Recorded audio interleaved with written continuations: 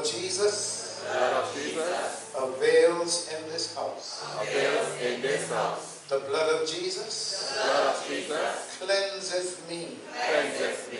The blood of Jesus Blood of Jesus covers me. covers me. Come on, give the Lord a round. Look to your neighbor and tell them, I am appointed because I am anointed. And the axis of this message revolves around verse 1 and verse 12. Beloved of God,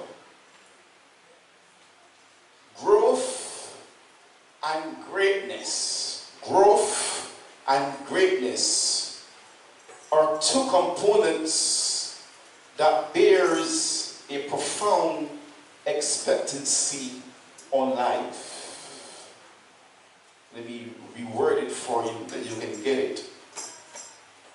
As long as you are living and you function in your correct faculties, evangelist key, there's a great expectancy for growth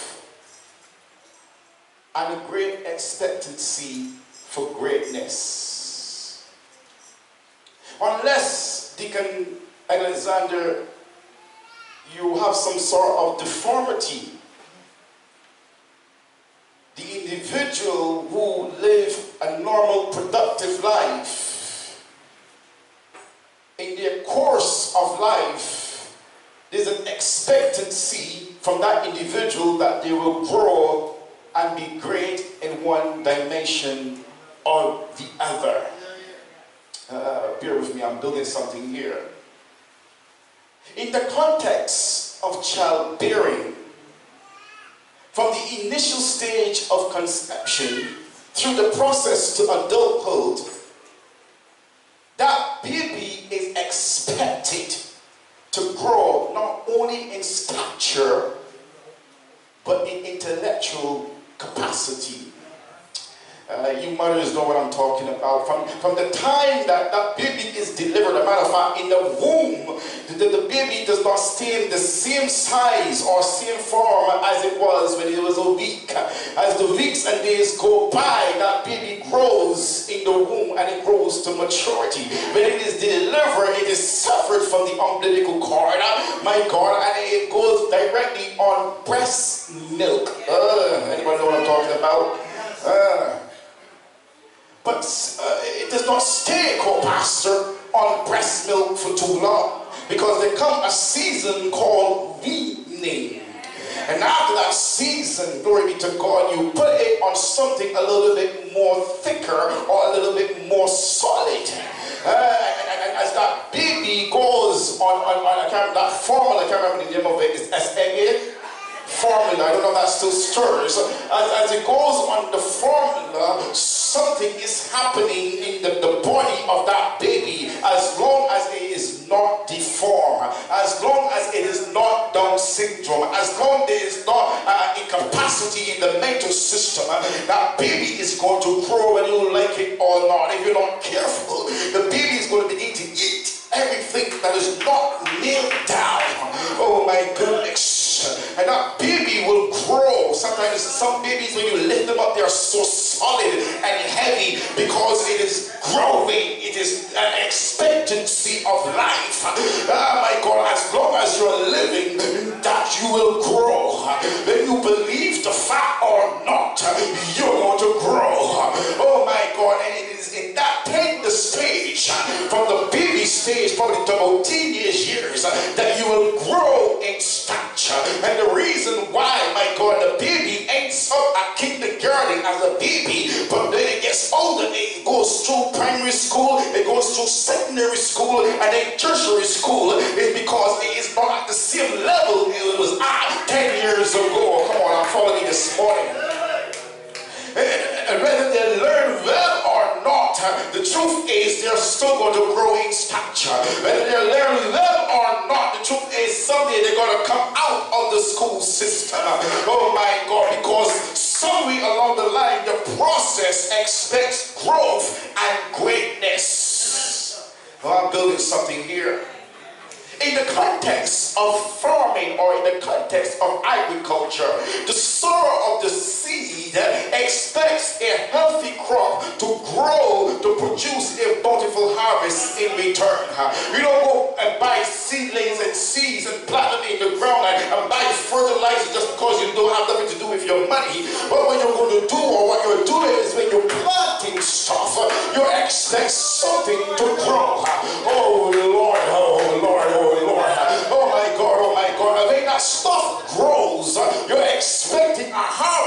What you have planted. And that's why you're so careful to apply the fertilizer. You're so careful to uh, apply the pesticide and the insecticide. You're so careful because you do not want the bugs uh, and the, the, the of the crop to destroy the crop. You do not want last. That's why you put up your fence uh, for the thieves, for the in your crop, my God, because you want something out of your harvest. Oh Lord.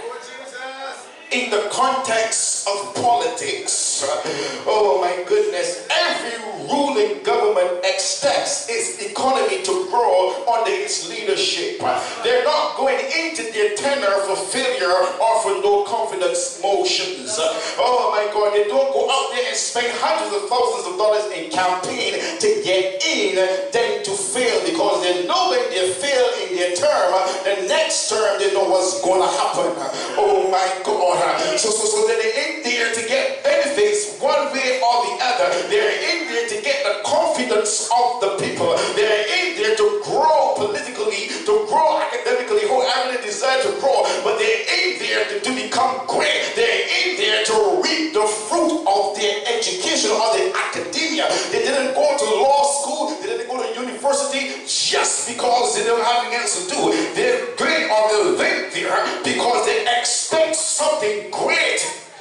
their career. Oh, follow me, follow me this morning. I'm, coming close, I'm coming close. In the context of religion, every denomination evangelizes its religion, expecting growth and advancement based on their own rules, their own policies, and doctrines. Oh, it is not only the Christian church that evangelizes, every denomination evangelizes. They evangelize what they believe in because out there in the straw hats on Wednesday and Saturdays. Oh Lord, my goodness, we got them out there on Friday evenings and all their Saturday. They're evangelizing what they believe in because they want their denomination to grow. Oh Lord, follow me today. It is about growth, it is about greatness. And I, I, I must tell you, it is noted that the kingdom of God is no different. The kingdom of God is no different. Oh my God. But I, I need to tell you that the kingdom of God stands against the influence of religion and it stands upon the power and revelation of Jesus Christ. Oh yes, we are evangelizing the same way, but we are not influenced, oh my God, by religion. We are not influenced by the doctrines of man. Oh, we're not influenced by the doctrines of devils. Oh my God. The kingdom of God is revealed through signs, wonders, and miracles. And the reason why you'll be added to the kingdom is because God is expecting growth. He's expecting greatness. Oh my goodness. Uh, I've come to tell you today that the kingdom of God is revealed through the infallible truths of God's word. The kingdom of God is revealed through God's people, and it is for this reason you are anointed and appointed. Oh, touch your neighbor say, I am I'm, I'm anointed,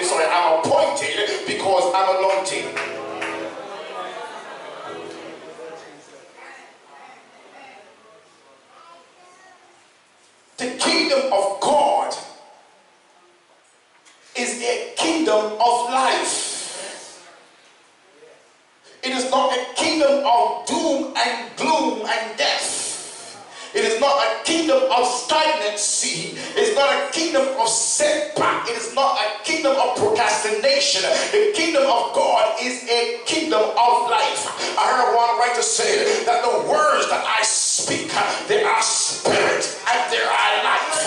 And if we have the spirit of the only true and living God, when we open our mouth, Minister Roseanne, it should not be that the brothers and sisters go away suppressed, discouraged, and despondent. But it should be that iron sharpens iron. It should be that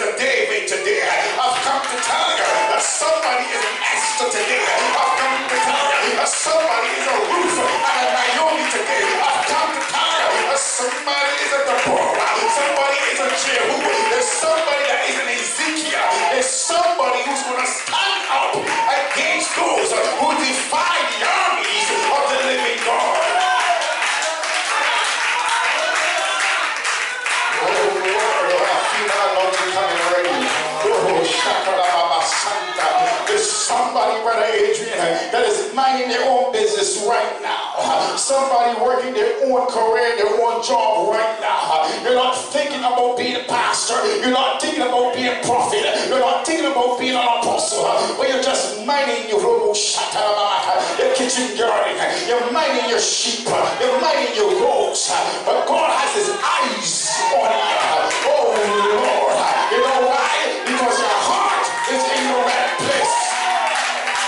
Oh, you're minding somebody's grandmother somebody's grandfather. You're minding somebody's kitchen. You're minding somebody's home. But I've come to tell you that this is the season of ordination. This is the season of elevation. This is the season of bringing up. I want somebody to say, I'm going up.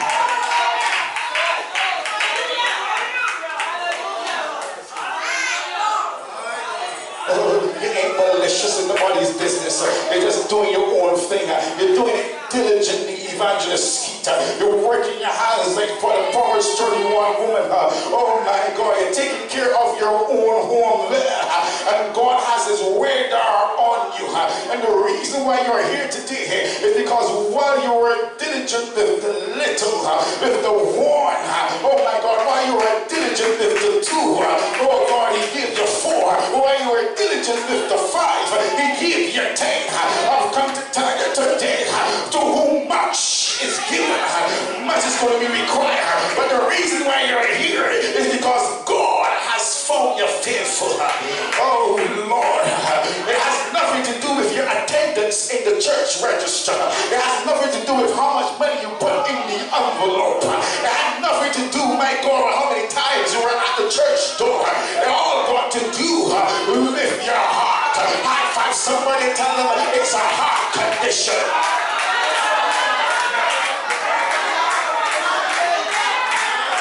Lord, Lord, I feel this, Minister Rosa. I feel it already. Something is pushing me up in here. Something is pushing me up in here. If it had anything to do with height, I would not be here. Abednego would be in the place of David. But it had nothing to do with height. It had nothing to do with age. It had nothing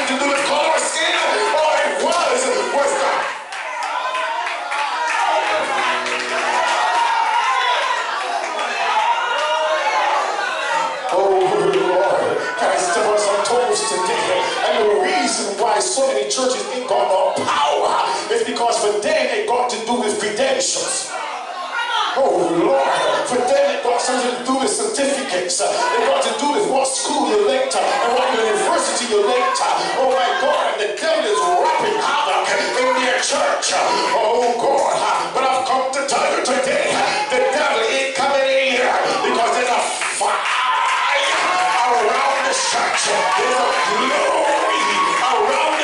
this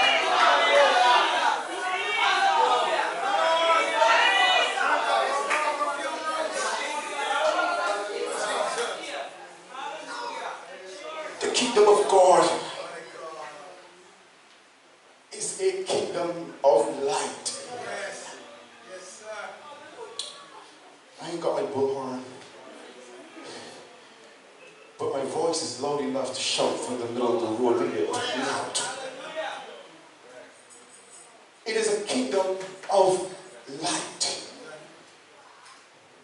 And the apostles say that the light of the world that I'm referring to it has no fellowship with the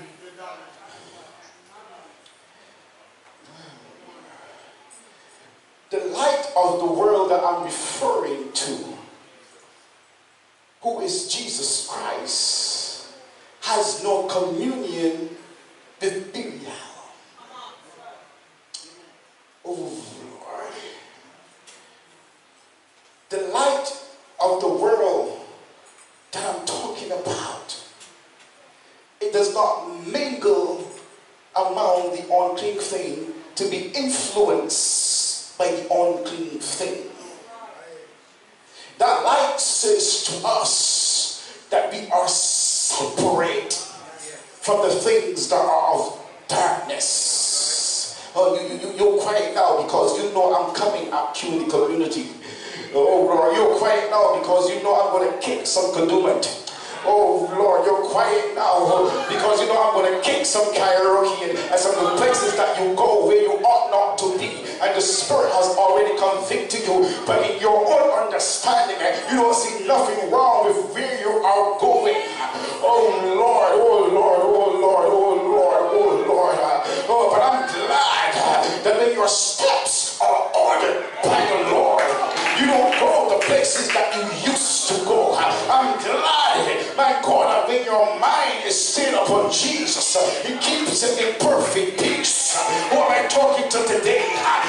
Glad that when the, that the Spirit of the Lord is your pioneer, He's your captain.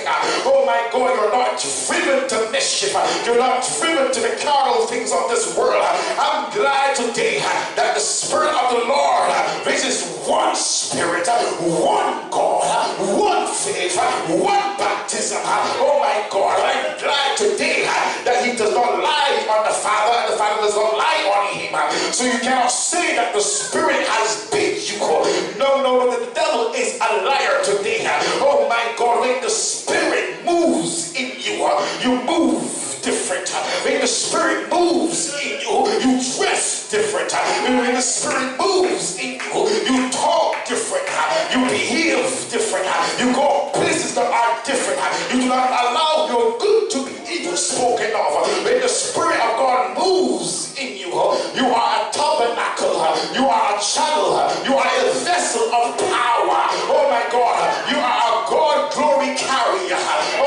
to me no more. Oh my God, I mean, you are a God glory carrier. You are a demon chaser. Oh Lord, oh Lord. Some of you chasing the wrong things. Some of you chasing after the wrong things. But I'm glad, Brother Alexander, or Deacon Alexander, when you have the glory of the Lord, you chase that which is God. Oh God. the kingdom of God kingdom of righteousness. And I say to the church today that every investor expects growth and returns from their investment, and the kingdom of God is no different. And God has deposited in every one of you candidates today. By extension, He has deposited in every believer who is born again. And whatever He has deposited, Minister Roy, He's expecting a return. Oh Lord, you're going quiet now, see? God expects growth. And this is why you are anointed. For growth to take place in God's kingdom, the Apostle Paul outlined four things in the text which we read. And Can I, can I teach you a little bit? Four things he outlined in the same text in Ephesians 4 from verse 1 to 12. And I marvel, co-pastor Reece, that he starts with the admonition of walking worthy. Uh, you see, you see, many folks got the talk, but not the walk. Only, only, only last night on my last trip back to the depot, this Rastafarian guy or a guy with dreadlocks, I should say, got into the bus at a certain point, and by a certain point, he comes and he whispers in my ear. He said, "Driver, could you give me a break, please? I've been drinking all day, and now I have to ease myself. Could you put me somewhere where uh, it is kind of private, I can ease myself?" So I pulled up in a dark area, and he went and eased himself for a couple seconds and came back. Uh, watch me carefully, watch me, watch me. About 10 minutes later, a lady got the bus, and this same guy is talking about Jesus. And he's quoting scriptures accurately. Oh Lord, and he engages the woman in scriptural talk. Uh, they debated some stuff, uh, and he's debating the word on Jesus' side. Uh, he's condemning the word, he's, he's, he's evangelizing the word, and I'm smiling to myself. I'm saying, they have peeked into my sermon and they don't even know. Uh, they have given me a nugget to put into my sermon. And, and, and then he and the lady, Deacon Alexander, they, they, they, they exchanging scriptures of what is and what is not. And I listen carefully. You see, you, you, you just cannot take things at face value. You've got to learn to listen. Oh my God. And within a few moments of the conversation, I heard him bring back the topic about he had some drinks today. Oh Lord. And I heard she said that she does have some drinks And these people carried on a conversation about God. Oh Lord. And I listened a little bit longer, Minister Rosa, and then the profanity came out. The expletives came out. The colorful words came out. Oh Lord. And I'm smiling to myself because many folks got the talk, but they ain't got the walk. Oh first Corinthians chapter 4 and verse 20 tells me straight that the kingdom of God is not word, but it is power. Oh Lord. Power is not something that you talk. Power is demonstrative. It is active. It is proactive. Oh Lord.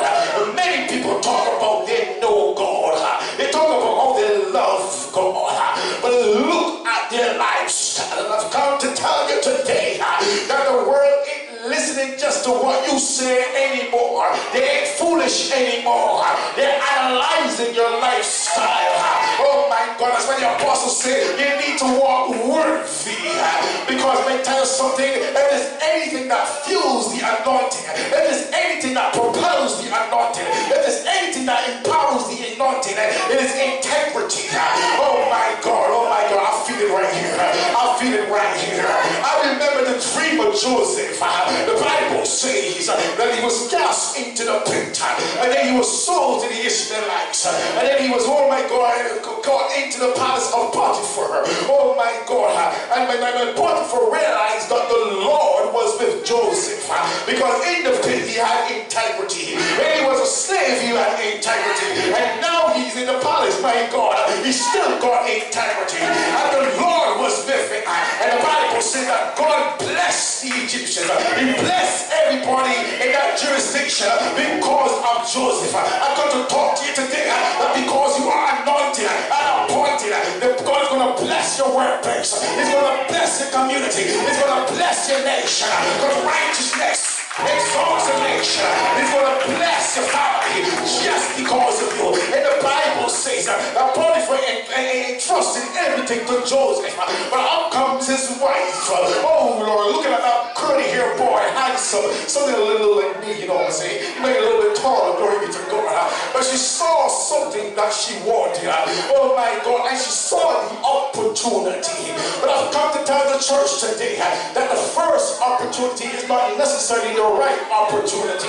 We're going to learn to seek the Lord. We're going to learn, oh my God, to intercede in prayer. Because the first thing that pops up is not always what God wants you to have. Oh my God, can I talk to the husbands today?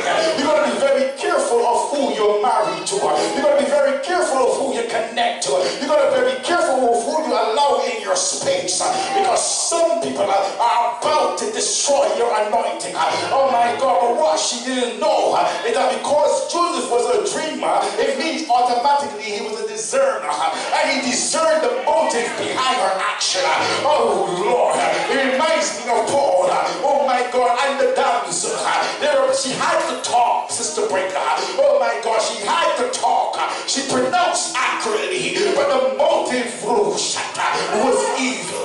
Oh my God, and the spirit of discernment move among the apostles. Can I tell you, you need the spirit of discernment?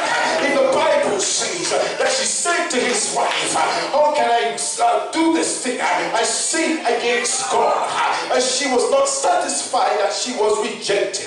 Oh Lord, some folk is not going to be satisfied when you reject them. Some managers and some bosses are not going to be satisfied when you reject them. Some people around you are not going to be satisfied when you reject them because of righteousness. Some people in your family ain't going to be satisfied when you reject them because of righteousness. And they'll plot against you. And I've come to warn you today that the enemy always looks for evidence because there's a court in heaven and there's a court in earth. And you cannot be condemned unless there's evidence. Oh my God, oh my God. And the Bible tell me that when he flee from Potiphar's wife, my God, he left piece of his shirt in her hand and she used it. Oh my God. She twisted it. She fabricated it. She lied about it. My God. And Potiphar got mad. Oh my goodness. I threw Joseph in prison.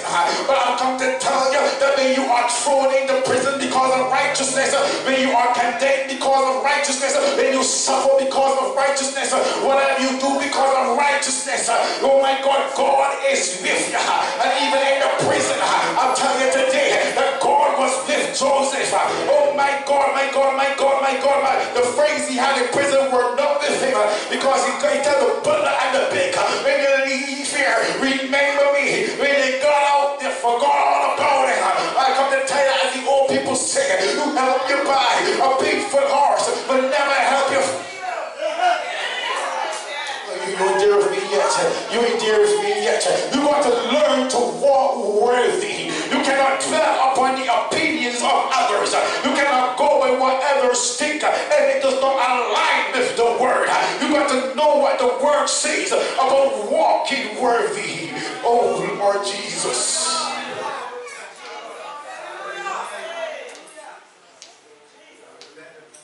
And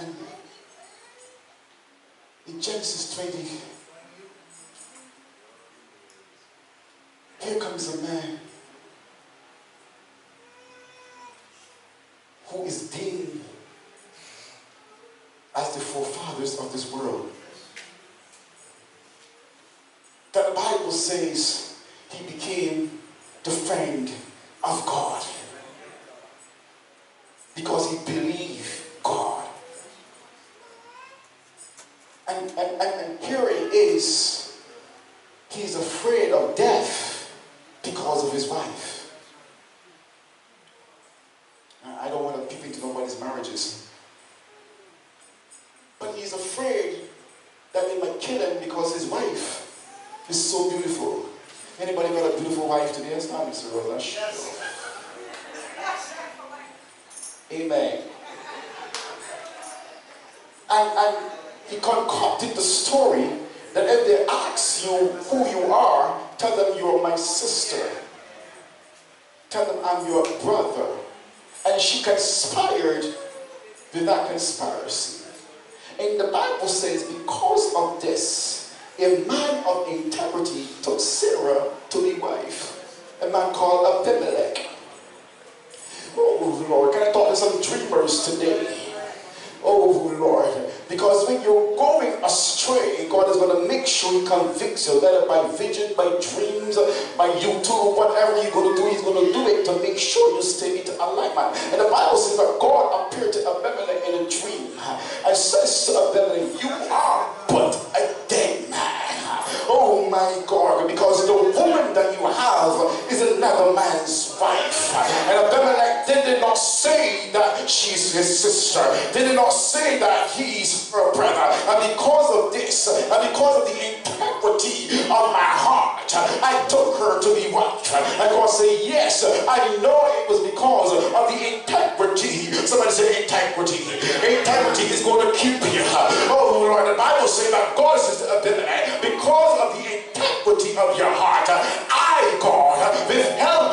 touching her. Oh Lord, your integrity, even if you make an oblivious mistake, is going to keep you into alignment. So when you find out that there's certain things that you just can't do, certain things that you just can't say, certain places that you just can't go, it's because it's in the integrity of your spirit that God is working through to keep you from sinning against Him. Oh Lord, oh Lord, oh my God, oh my God, can I move on? Oh Lord, in, in, in the text, we gotta live above reproach. The apostle, apostles say we got to live in all lowliness, not lowly bar, lowliness. In other words, in all humility. We got to live in all meekness. Be obedient. We got to live in long suffering. We got to learn to be patient. Oh God, we got to live, my God, in love, forbearing one another in love. Oh Lord, don't think you can love God and don't love your neighbor.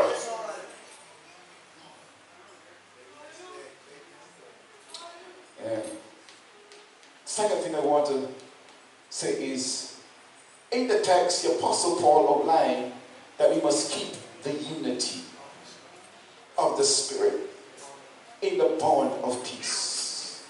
He says there's one body, one Spirit, even as you are called in one hope of your calling. So, so, so there is no Buddha, there's no Confucian, there, there, there, there, there, is no Haile Selassie. There's no Skiv. There's, there, there is no other God but the God that you have been called by. Uh, let, let, me rework that for you because you're looking confused. And if you ever think that the reason you are here and appointed and anointed is because of another God, you need to get that out of your spirit. You have been called by one God. He's not divided across the Caribbean and across Europe. He is one God, one Lord. The baptism which you will be baptized in is one baptism. Oh my God, not the one where you walk backwards at night. Oh Lord, oh Lord, that's a creepy thing. And I suppose some religions. Oh God, not the one where you pour fruity and coke on you you your sins are washed away. No, not the one where you sprinkle the water on you at the back of the church and say that you are baptized, especially as a baby. No, no, no, no. There's one baptism and it's by immersion. Oh God, oh God. We're going to understand scripture today. Oh my Lord. There's one God. Oh Lord, I don't know who you pray to, but I know who I pray to. Oh my God, the God that heareth, the God that healeth, the God that delivereth. In the name of the Lord is a strong tower, and the righteous run and they are saved. Oh my God, He's my rock and my salvation. He's my Emmanuel. He's the everlasting Father. He's the Prince of Peace. Oh my God, He is the Counselor. Oh my God, He's the Alpha and the Omega. You all know the God I'm talking about. Oh my Lord, He is the only true and living God. Who was already said all other gods are but they. So we must keep the unity. Oh Lord, in other words, uh, what we have now ought not to be. It should not be Jehovah's. It should not be seven days. It should not be the holiness. Oh my God. Oh, oh Lord. It should not be New Testament. It should not be all of these denominations. Why do you say so, Pastor? Because when he comes back, uh, he's coming back for you, uh, not a denomination. Uh, oh Lord. What I want to touch about that is because uh, some people are stuck by religion and by what that religion proclaims and propagates. And they restrict the move and the power of the Holy Ghost. But there's one spirit. How can you have church and deny the move of the Holy Spirit? How can you have a church and deny the speaking of tongues? Oh my God, all I'm saying is that they have a form of godliness But they deny the power. Point number three, let me get out of here quickly. You got to know your calling. Because God does not expect you to be prejudiced. The Bible says that, that the one who gave the grace or the special grace there are three types of grace the sovereign grace, the saving grace, and the special grace. The sovereign grace is the grace that hangs over the whole world, where He causes His rain to fall on the just and the unjust.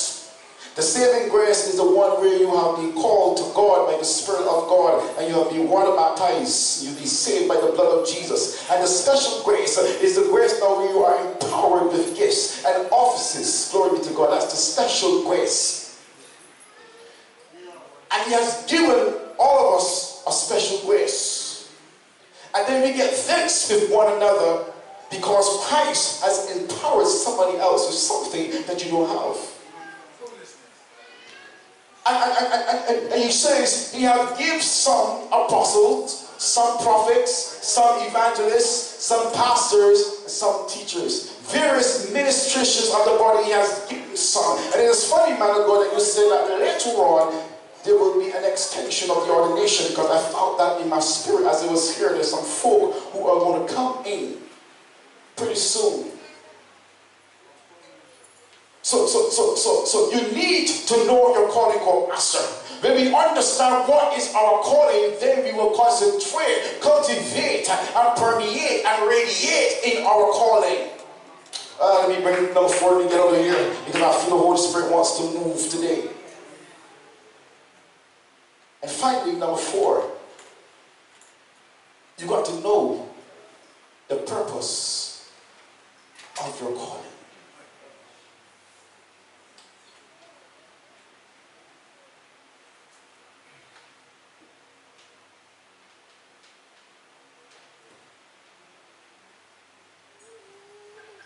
It is an indictment on the church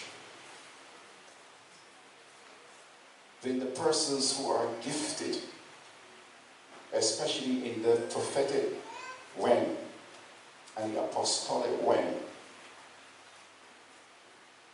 it is an indictment on the church when these individuals propagate their own self-centeredness.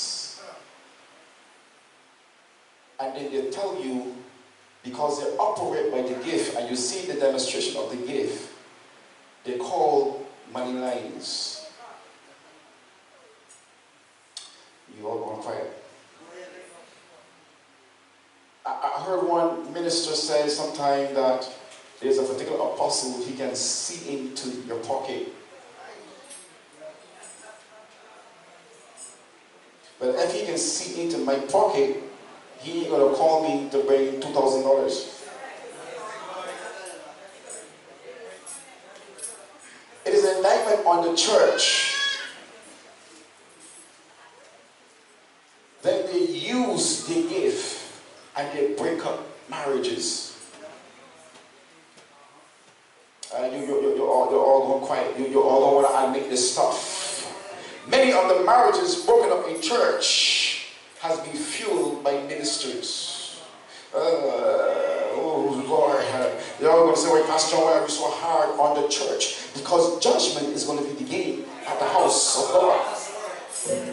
And, and, and the thing about it is, when we use our gift for selfish and vain glory rather than the church being edified.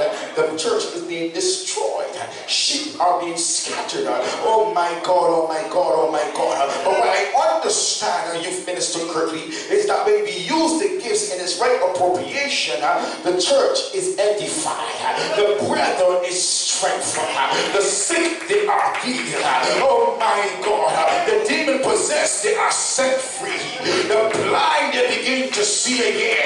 Those that are deaf, oh my God, I feel like I'm in church. The deaf, oh my God, they begin to hear. Those that are crippled begin to walk.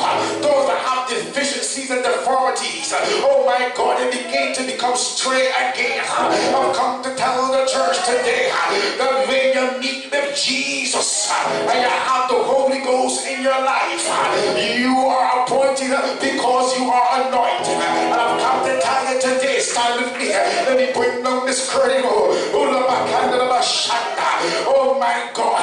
It is not when you get the title that you are that you are.